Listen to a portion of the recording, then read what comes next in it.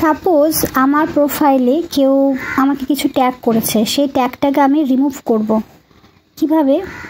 আমার যেই পোস্টটা আমার অপছন্দ হবে সেই পোস্টটা আমি, আমার প্রোফাইলে আমি দেখতে চাই না। হয়তো অজান্তে অ্যাড হয়ে গেছে কোনোভাবে আমার প্রোফাইলে তো প্রথমে আগে পোস্টটা আমি বের করে নেব। সাপোজ এই পোস্টটা আমার প্রোফাইলে অ্যাড হয়ে আছে। এবার আমি পোস্টটাকে কি করে রিমুভ করব? এখানে যে তিনটা ডট দেখা যাচ্ছে, তিনটা ডটে আগে ক্লিক করব। তারপরে এই অপশানগুলো চলে আসবে। এই অপশানটা লেখা আছে যে হাইড ফ্রম প্রোফাইল এটা আমাকে ক্লিক করতে হবে। ক্লিক করব হাইড ফ্রম প্রোফাইল তারপরে এই যে ক্যান্সেল আর কনফার্ম আছে this post may still appear in other places তাহলে আমি এটা কনফার্ম করব। ব্যাস।